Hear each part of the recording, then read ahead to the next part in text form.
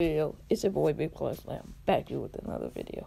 And today, which will be my I think third video. Alright, um so voice crack alert, I'm just playing.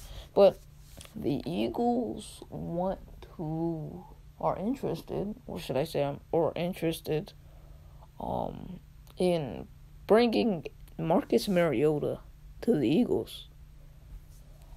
Um it's not the preferable destination that a guy like Marcus Mariota would want to come to.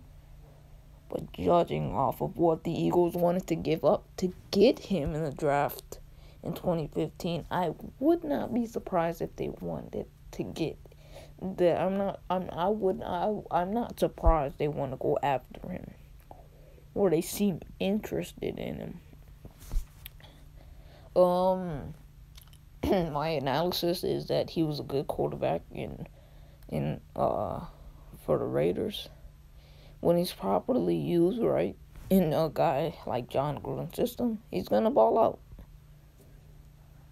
Now, um, it does ruin Jalen Hurts' confidence, lack of con- uh, confidence, but he's he's a lot more mentally tough than Carson Wentz. So I'm not gonna be surprised if he's if he's mad at the, if the, if they did this, but it's gonna definitely build his character up, and it's gonna bring uh, a high energy to the quarterback room. Not a high energy, but a high risk reward. Now, I want to go over Derek Barnett, and should the Eagles uh bring him back or should they not?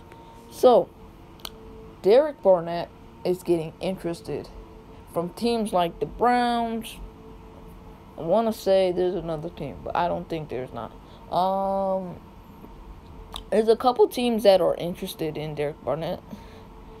The Seahawks, the Browns, um, and I believe that's it.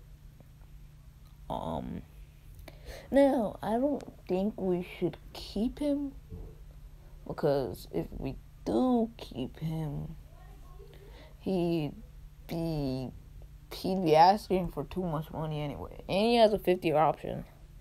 He's on his 50 year option. indicating indicating he could stay or we could trade him. He'd save us 10 million, $10 million in cap space money.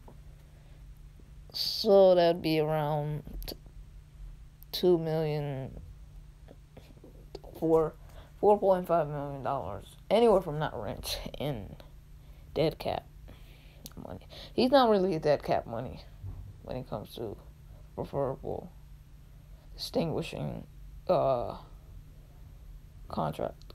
Um I am not I I am actually surprised they haven't paid him big money.